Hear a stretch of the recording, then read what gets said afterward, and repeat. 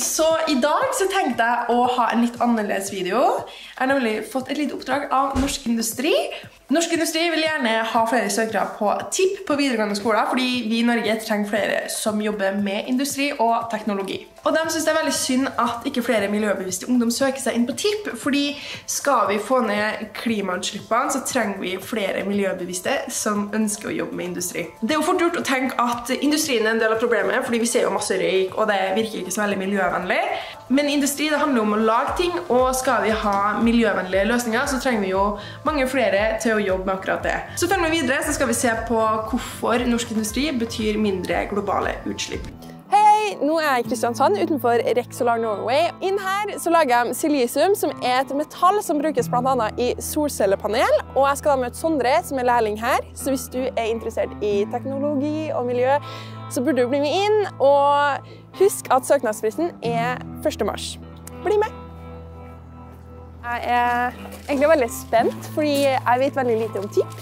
Før jeg kan gjøre noe som helst, så må jeg få på meg vernutstyr.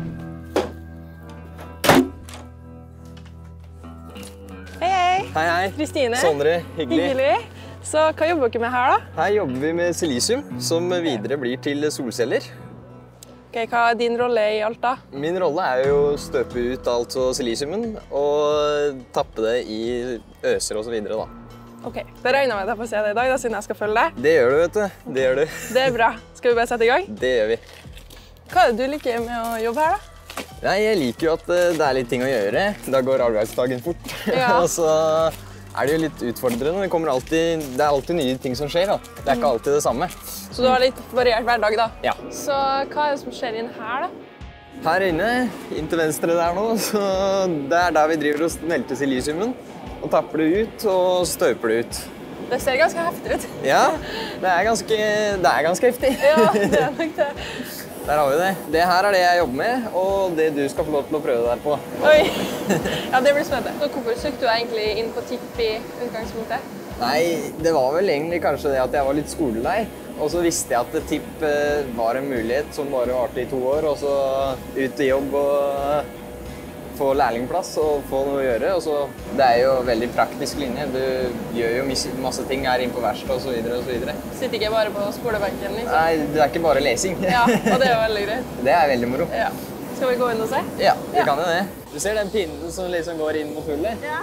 Og den bruker man til å brenne vekk eh, slagg og ja, steiner og så videre og så videre. Jeg er litt nervøs. Ja, men er, du kan ikke gjøre noe gærent. Der, vet du. OK. Jeg er ferdig. Jeg er redd. Så skal jeg dytte den borti strålen? Ja. OK. Ok, Så der sånn? Ja.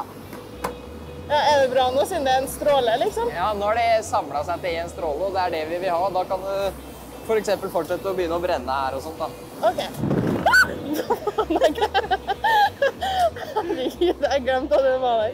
Det var litt skummelt, men jeg følte meg litt badass. Det var Men det var artig. Det var litt eh, annerledes. Jeg har lurt noe sånn, da, for å si det sånn.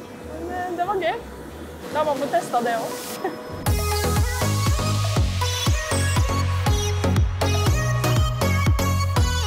Da står jeg med en annen som jobber her på Rexolar, nemlig Ronny, som jobber som teknologiutvikler. Det er jo mange i dag som ønsker å jobbe med noe som senker klimautslippene, men så er det mange som tror at industri er en av verstingene på akkurat det. Så jeg lurer på om det stemmer. Industrien er en del av løsningen på klimautslippene i verden. Eh, Her vi står nå eksempel, så produserer vi solcellesilisium med mye mindre energi enn alle andre i hele verden. Så den silisiumen som går ut her fra denne fabrikken, årlig så vil den som solcellepaneler installert i verden føre til en reduksjon av klimautslippene med over to millioner tonn CO2. Oi, men det er jo veldig bra. Så man kan egentlig si at unge som har lyst til å gjøre noe for klimaet, kan egentlig søke tipp, da. Ja, det vil jeg i høyeste grad si. Det handler om å ta vare på alle sidestrømmene, alle biproduktene vi har. Det handler om at vi produserer solcellesilisium til solceller, som i seg sjøl er miljøvennlige. Og det handler om at vi lager produkter som i det hele tatt inngår i en miljøvennlig framtid. Der hører dere at hvis dere er veldig opptatt av miljø, så kan dere søke tipp. Men nå skal jeg gå og finne Sondre igjen, fordi han må rett og slett eh, fortsette å vise meg litt rundt.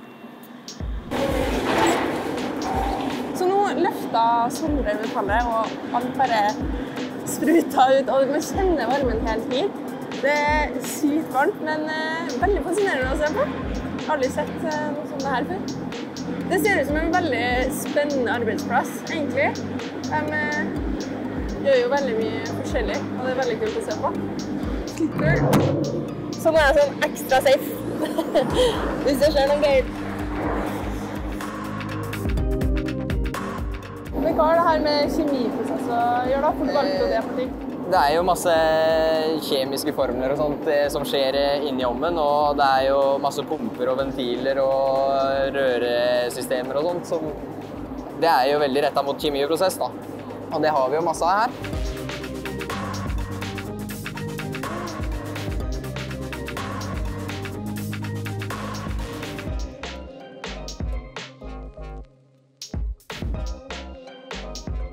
Her, det er en halvferdig pumpe av eh, silisium. Veldig skarp, men veldig tynn. Og det her er en ferdigblokk med silisium. Better safe than sorry.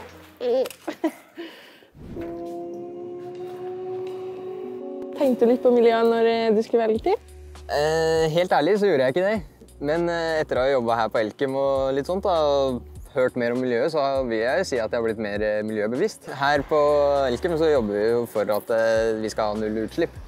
Og det ville jo ikke vært verdt å produsere solcellepanel når det hadde forurensa mer enn det hadde gjort for verden. for å si det sånn. Da, hadde det jo ikke vært vits å produsere solceller. Kjemiprosess, da. Det valgte du på andre året. Hvorfor det? Ja, eh, jeg gikk i tipp, og så var jeg litt usikker på hva jeg ville gå videre etter TIP.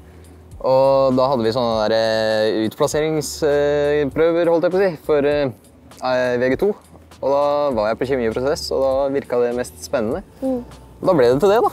Ja. Du er fornøyd med valget? Veldig fornøyd med valget. Hva er det aller beste med å være lærling, da? Det aller beste er vel eh, Man tjener jo penger, da.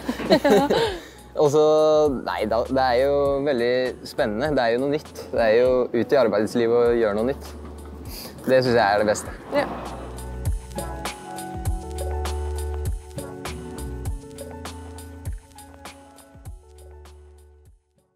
Så da er dagen ferdig, og jeg må si at jeg faktisk er overraska over hvor gøy jeg syntes det var. Fordi jeg var litt sånn skeptisk når jeg kom inn til det her, fordi jeg jo ikke, kan jo ingenting om tipp og har alle gjort noe lignende før, så jeg var ikke helt sikker på hva jeg skulle gjøre. Men det var faktisk eh, ganske artig, og jeg, kosa meg i dag. Jeg syns faktisk det var veldig bra, og det var veldig bra miljø, masse fine folk, og, og veldig gøy å gjøre det dzz-tingen. Så nei, det var faktisk en veldig bra dag. Og hvis du syns dette så interessant ut, gå inn på velgteknologi.no, og husk søk TIP før 1. mars. Ha det bra!